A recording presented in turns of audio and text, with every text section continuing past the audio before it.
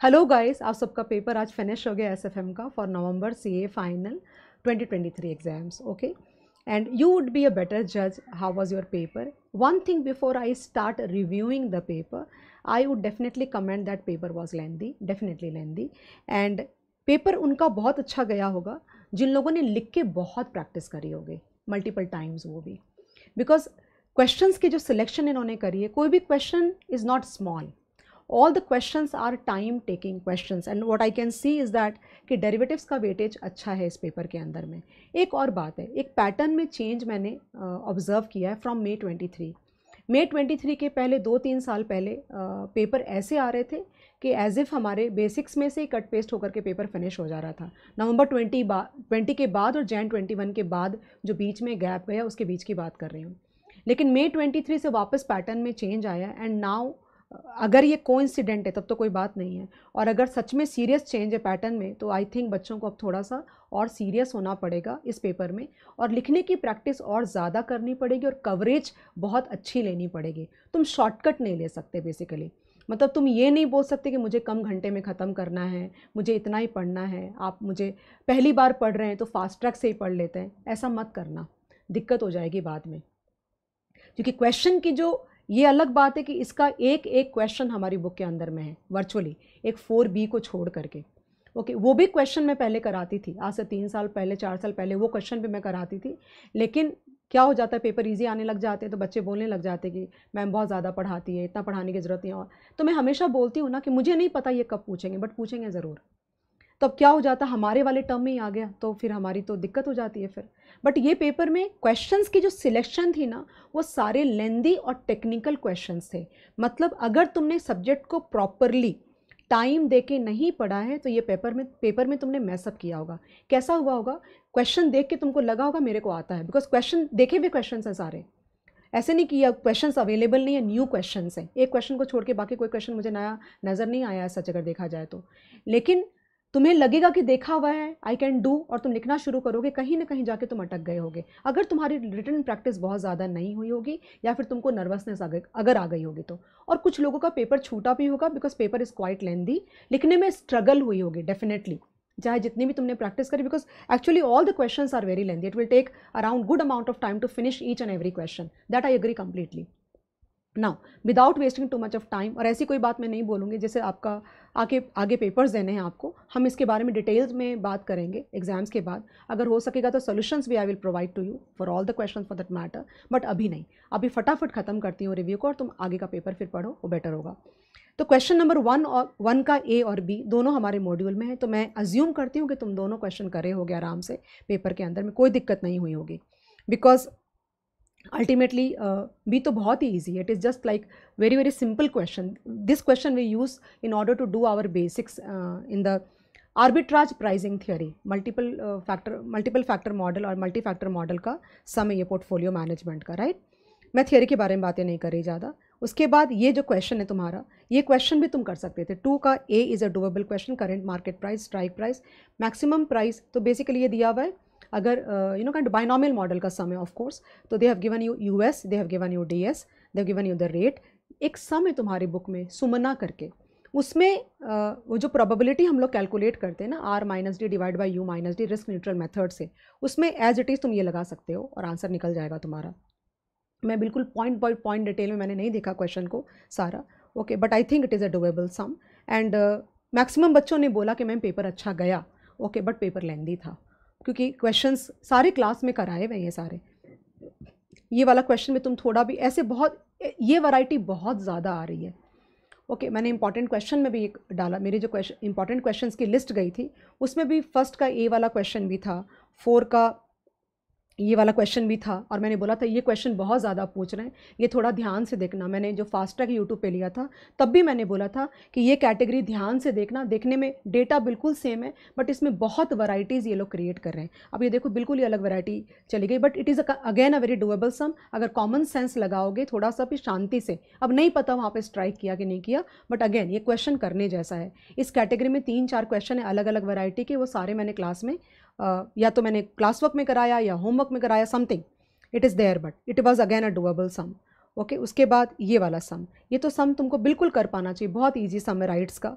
Okay and again ये सम import का है. एंड गाइज़ पता है क्या? ऐसे वाला सम जो है तुम्हारा, एक सम है जो बहुत लेंदी सम है. दो सम है रादर हमारी बुक के अंदर में, इस कैटेगरी के अंदर में. काफ़ी लेंदी है, उसमें तुमको हेजिंग करनी है इंपोर्ट की। और एक क्वेश्चन मैंने इंपोर्ट का करा है एक क्वेश्चन एक्सपोर्ट का करा है, अगर तुमको याद होगा तो। एक जापानीज़ फर्म का और एक नॉर्मल इंडियन फर्म का है। तो उसके अंदर में सारे सारी चीज़ें हमें करनी है। हमें नो कवर करना है, हमें फॉरवर्ड कवर करना है। इसके बाद हमें मनी मार्केट कवर करना है। उसके बाद कॉल कवर करना है। उसके बाद पुट कवर करना और रेंज फॉरवर्ड करना ये उसका ही सम है। तो again this question would have taken a good amount of time that's I am saying कि every question is quite lengthy actually but then again बच्चों ने तुम कर पाना चाहिए सब बिकॉज़ मैंने दो क्वेश्चन सेम वैरायटी में कराई है तुमको। Okay okay? लेकिन हाँ डेटा अलग है। डेफिनेटली हो सकता है थोड़ा सा सोचने में, करने में थोड़ा फॉर एग्ज़ाम्पल यहाँ पे एक चीज़ का बहुत ज़्यादा फ़र्क है कि यहाँ पे परसेंटेज दिया है तुमको प्रीमियम के लिए बट उससे क्या दिक्कत होती है तुम्हें? वो परसेंटेज को तुम अप्लाई करके निकाल सकते हो ना प्रीमियम हमारे वाले क्वेश्चन में प्रीमियम का अमाउंट दिया हुआ है यहाँ परसेंटेज दिया हुआ है, वो तुम निकाल सकते हो आराम से, उसमें कोई टेंशन नहीं होनी चाहिए। और मैंने तुमको बताया है कि डायरेक्ट कोड कब यूज़ करोगे इनडायरेक्ट कोड कब यूज़ करोगे नो सारी चीज़ें हमने करी है उस तरह की तो दिस क्वेश्चन लगे but it would have taken not less than half an hour to complete actually four का a is a very very easy question of merger इससे ज़्यादा इजी क्वेश्चन मर्जर का नहीं आ सकता है. बट या ये चीपेस्ट टू डिलीवर का cheapest to C T D बोलते हैं चीपेस्ट टू डिलीवर बॉन्ड ये टी बॉन्ड का सम है. मुझे लगता है ये क्वेश्चन देख के मुझे लग रहा है कि ए एफ़ एम की झलक आ रही है. जो मे 24 से ए एफ़ एम स्टार्ट होगा, उसमें डेरिवेटिव्स का पोर्शन काफ़ी ज़्यादा उन्होंने इंक्रीज़ किया है। थियोरेटिकली करा है। क्वेश्चंस नहीं दिए हैं। बट या we know that this kind of questions are can be asked in the May 24 paper very very easily we can expect this kind तो this is this looks like a wind मतलब ऐसे झलक दिख रही है मे 24 की। Okay okay. कुछ question है जो ज़रूर करके जाना चाहिए मे 24 में बच्चों को, वरना उन्होंने नहीं दिया बुक में। बिल्कुल भी एक भी क्वेश्चन ऐड नहीं किया उन्होंने, कहीं भी, पूरे के पूरे करिकुलम में ए एफ़ एम और एस एफ़ एम की मॉड्यूल मैंने वर्ड बाय वर्ड कंपेयर करी। कुछ भी नया क्वेश्चन वाइज ऐड नहीं किया है बट डेफिनेटली अगर थियोरी ऐड किया तो we will have to manage the sums from here and there at least lower level से तो हमें शुरू करना पड़ेगा। देन फाइव का जो ए का क्वेश्चन है गाइज़ दिस अगेन एक चीज़ का मुझे टेंशन यहाँ पे हो रहा है कि because as per the FEDAI rule as per the FEDAI rule ये दस तारीख को अगर एक्सपायर कर रहा है, अगर ये दस तारीख को एक्सपायर कर रहा है तो मेरे हिसाब से तीन दिन का ग्रेस मिलेगा इलेवन ट्वेल्व एंड थर्टीन तो यहाँ पे थर्टीन का इनको डेट देना चाहिए था बिकॉज़ ट्वेंटी जून तक ये, क्योंकि वो जो तीन दिन का ग्रेस पीरियड है, उस दिन वो तुम, उनका कॉन्ट्रैक्ट एक्सपायर कर गया होगा ऑटो कैंसलेशन हो गई होगी। और ये 20 जून का डेट इन्होंने दिया है तो I am not able to understand here that whether it is a mistake from their side because या तो इसको 10 और 12 जून होना चाहिए, और शायद मैंने इस पर अलग से बनाया भी था एक लेक्चर भी बनाया था मैंने तुम्हारे जस्ट एग्ज़ाम के पहले कि इस बात का ध्यान देना बट मुझे ये नहीं पता था कि तुम तो सही जाओगे उनके तरफ़ से ऐसा कुछ हो जाएगा। तो आई एम नॉट श्योर कि ये वो लोग कैसे डील करने वाले हैं बिकॉज़ अभी दस दिन का गैप नहीं चलेगा। दस दिन का गैप बिल्कुल नहीं चलेगा बिकॉज़ एक्सपायरी uh, के तीन दिन के बाद ऑटो कैंसिलेशन होनी चाहिए और वो जो तुम्हारी uh, तुम्हारा जो कस्टमर है उसको अकॉर्डिंगली ही कैंसिलेशन की रेट मिलेगी।